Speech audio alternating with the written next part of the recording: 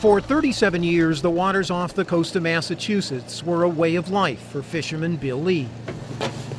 Then, without warning, it all changed.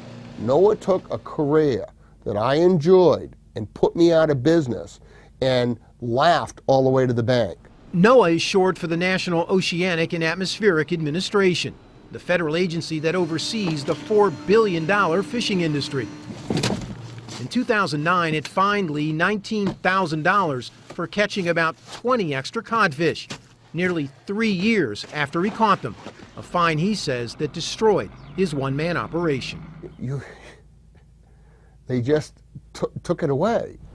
Now dozens of New England fishermen charge their livelihood is at risk, sinking under the weight of 700 pages of confusing federal regulations. Section B goes on line 1 with Section 2, and Section B goes with line 4 of Section 1.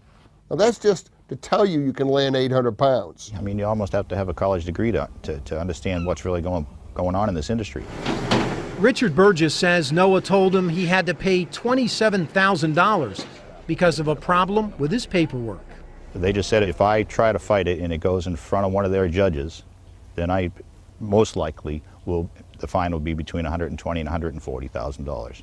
An investigation by the Commerce Department's Inspector General found the regulations were unduly complicated, federal agents overzealous and abusive, excessive fines, including one for $270,000 for administrative errors. You know, we've been honest, hardworking people, and we've been treated as, as uh, common criminals.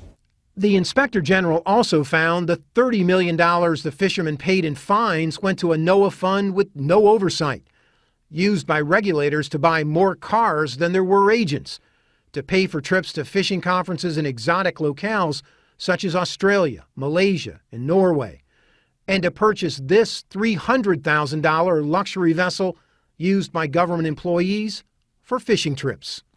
And according to this memo obtained by CBS News, while under investigation, NOAA officials in Washington had a shredding party destroying garbage bags full of documents. The shredding truck pulled up right outside that building, NOAA's enforcement headquarters, where the agency's top cop later admitted he destroyed 75 to 80 percent of his total files. An investigation found the shredding violated five federal regulations, but no evidence of obstructing justice. The man was later removed from his job, but remains at NOAA as an analyst, still making a six figure salary. We've taken aggressive steps. We Eric Schwaab is the new head of fisheries at NOAA.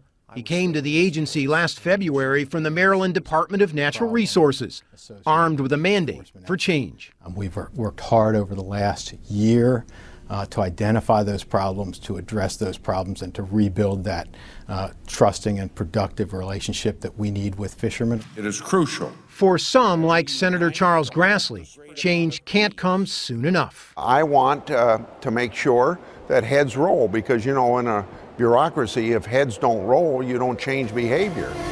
Now a judge is reviewing at least 31 cases of fishermen caught up in the government's net to see if some of the fines should be returned.